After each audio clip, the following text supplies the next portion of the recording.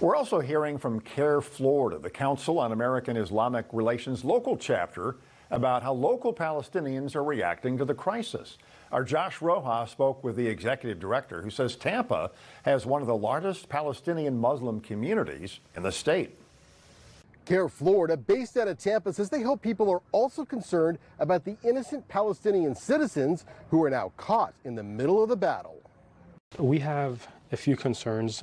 Abdullah Jaber, the executive director of CAIR Florida, says he's getting calls from Tampa Bay residents who are worried about their relatives in the Gaza Strip. And this morning I was talking to a mother whose children are stuck in Gaza right now. So that's what I mean that just as there are Americans who are worried about their relatives in Israel, there are Americans who are worried about their loved ones in Gaza and in Palestine. And we have to look at both sides.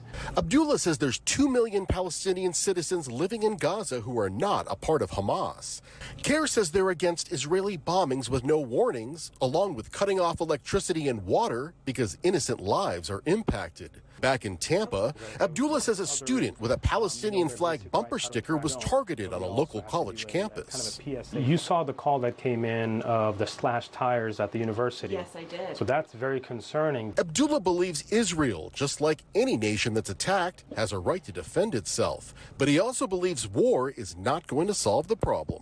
I think as people of faith and as people of decency, as Americans, we pray for everyone, both sides, and we really hope to see an end to this violence.